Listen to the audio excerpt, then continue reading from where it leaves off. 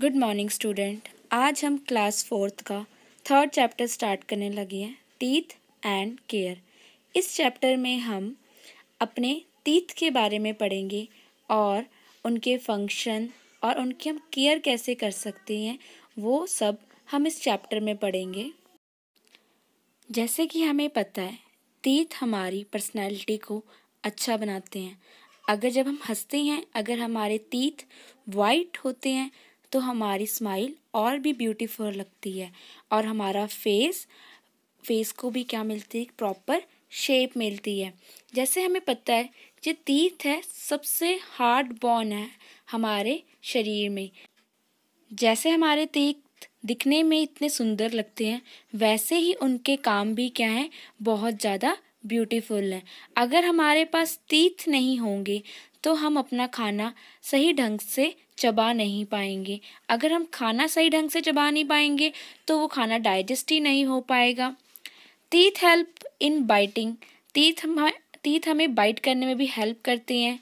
और सबसे बड़ा जो रोल प्ले करते हैं टीथ वो हमें बोलने में करते हैं। क्योंकि जब हम बोलते हैं तो हमारी टंग हमारे टीथ के साथ टच होती होती है, जिससे हमारे वर्ड्स की प्रनंसिएशन जो भी हम प्रनाउंस करना चाहते हैं, वो सही वे में निकलते हैं। जैसे आपने देखा होगा कि कोई जो ओल्ड एज होते हैं, जिनके माउथ में तीथ नहीं होते हैं, हमें उनकी बात कभी कभी समझ में नहीं आती है। क्यों? क्योंकि जब वो बोलते हैं तो उनकी टंग तीत के साथ टच ही नहीं होते, क्योंकि उनके तीत ही नहीं होते हैं। इस करके उनके मुँह से जो वर्ड है, वो प्रॉपर नहीं निकल पाते और हमें भी वो सुनाई नहीं देते सही तरीके से।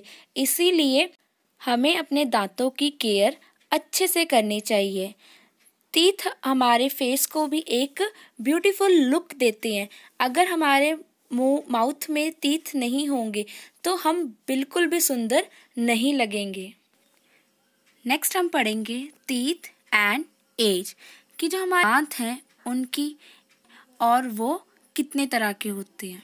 फ़र्स्ट कैटेगरी में आते हैं मिल्क टीथ एंड सेकंड है हमारे परमानेंट टीथ मिल्क टीथ क्या होती है? जो न्यू बॉर्न बेबी के टीथ होती हैं। जब बच्चा पैदा होता है, तब उसके माउथ में कोई भी टीथ नहीं होता। बट जैसे ही वो कुछ मंथ का होता है तो उसके टीथ आने स्टार्ट हो जाते इन्हीं तीत को हम बोलते हैं प्राइमरी तीत, मिल्क तीत या फिर टेम्परेरी तीत। टेम्परेरी क्यों बोलते हैं? क्योंकि इन तीत ने टूटना होता है और इसके बाद हमारे न्यू तीत आते होते हैं। बच्चों के जो तीत होते हैं, वो कितने होते हैं? ट्वेंटी। ट्वेंटी हमारे मिल्क तीत होते हैं। टेन तीत हमारे ऊपर अपर जा में एंड, टेन तीत हमारे लोअर जा में होते हैं। परमानेंट तीत। सेकेंड टाइप है हमारी परमानेंट तीत मिल्क तीत के टूटने के बाद हमारे परमानेंट तीथ आते हैं और मिल्क तीथ हमारे सिक्स ईयर्स के बाद टूटने स्टार्ट हो जाते हैं। और जब जो न्यू तीथ आते हैं, उन्हें हम क्या कहते हैं? परमानेंट तीथ एक एडल्ट के परमानेंट तीथ कितने होते हैं? थर्टी टू याद रखना थर्टी टू तीथ होते हैं। अब हम पढ़ेंगे कि हमारे माउथ में टीथ कितने टाइप के होते हैं? काइंड ऑफ़ टीथ फ़र्स्ट है इन सीजर जिनको हम कटिंग टीथ भी बोलते हैं. Second is canine tearing teeth इनको हम क्या बोलते हैं? Tearing teeth third is pre molar pre molar क्या होते हैं? Grinding teeth fourth and last one is molar molar teeth भी क्या काम करते हैं? ग्राइंडिंग का काम करते हैं. फ़र्स्ट है हमारे incisor teeth incisor teeth हमारे फ्रंट पे होते हैं। फ्रंट वाले तीथों को हम क्या बोलते हैं? इन सीजर। ये कटिंग के काम आते हैं और बाइटिंग के काम आते हैं। बेसिकली फोर तीथ हमारे फ्रंट अपर जवा में होते हैं और फोर ही लोअर जवा में होते हैं। तो टोटल इन सीजर तीथ हमारे कितने होते हैं? एट। नेक्स्ट है हमारा कैनाइन। कैनाइन क्या थे? टीयरिंग तीथ ये तीत हमारे इन सीजर के साइड पे होते हैं, जो एकदम तीखे तीखे तीत होते हैं साइड पे, उनको हम क्या बोलते हैं? कनाइन तीत। ये बेसिकली किसके काम आते हैं? टीयर करने के लिए। ये एक जवा में ओनली टू तीत होते हैं। टोटल कितने हो गए? अपर एंड लोअर में फोर तीत। थर्ड कैटेगरी में हमारे आते हैं pre molar teeth. Pre molar teeth का काम क्या होता है?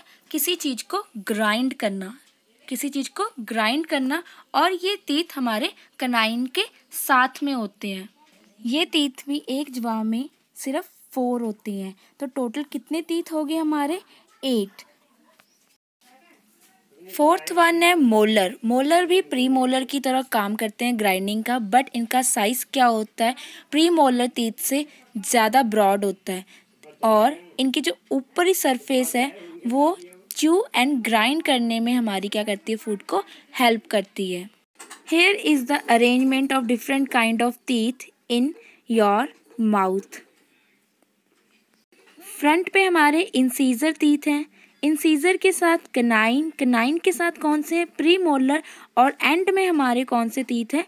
Molar teeth parts of tooth each tooth has root and crown हमारे हर एक टीथ का एक क्राउन पार्ट होता है और एक रूट पार्ट होता है। तो हमें सिर्फ़ क्राउन पार्ट ही दिखाई देता है, हमें रूट पार्ट दिखाई नहीं देता है। जो क्राउन पार्ट हमें तीत का दिखता है, उसके ऊपर इनामल की कवर होती है, जो कि क्या है? एक हार्ड कवर है, जिसके कारण हम इजीली कोई चीज़ चबा सकते हैं। एनामल के बाद जो सेकंड सरफेस आती है, वो है हमारी डेंटाइन।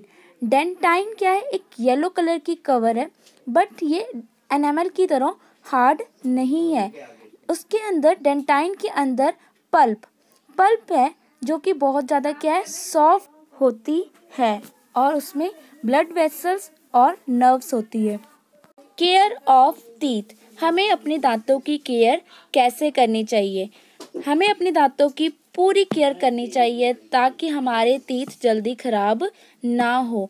क्योंकि तीथ ही ऐसा पार्ट है, अगर आप उसकी अच्छे से केयर करोगे तो वो लास्ट तक आपके साथ रहते हैं।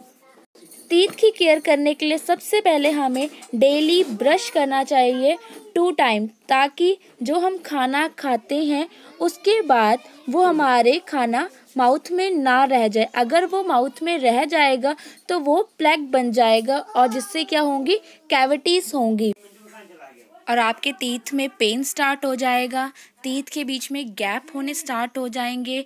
आपके जो गम्स हैं, वो क्या होंगे? स्वेल होना स्टार्ट हो जाएँगे और आपके जो टीथ हैं, वो टूट जाएँगे। इस करके हमें अपनी टीथ की क्या करनी चाहिए? केयर करनी चाहिए प्रॉपर एंड डेली ब्रश करके।